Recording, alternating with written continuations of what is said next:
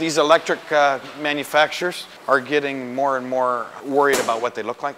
This is Italian design. People will come up on it and think it's a new Honda, a new BMW, not even realize it's all electric. This is the first mass-produced all-electric highway legal motorcycle in the United States. This is about 12,000 bucks. This is freeway speed, uh, just shy of 70 miles an hour and can do so for up to 40 miles. This one happens to have the 220 on it. It goes 110 or 220, but if you put it on the 220 like a dryer outlet, it charges in less than an hour. And this one leaves lights on when it's charging, and you'll hear a fan going, and that's it. And then when it's done, the lights go off, and you can unplug it and go. And it has a fuel gauge that lets you know if you're empty or low, just like it was gas, so there's hardly any learning curve. And then when you're too lazy, it has a reverse.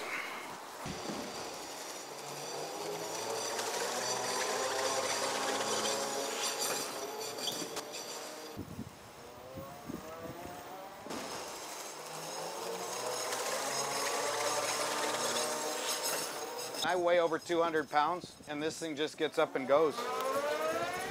If you want more torque, if you want quicker response, you can do it all with a laptop by changing the parameters on the controller. Most of the so-called tuners for electric cars are computer geeks. But people always wonder why there's not any noise. Some even want you to add a thing as you step on the throttle to make it sound like a Harley. They're not used to having a motorcycle without any noise.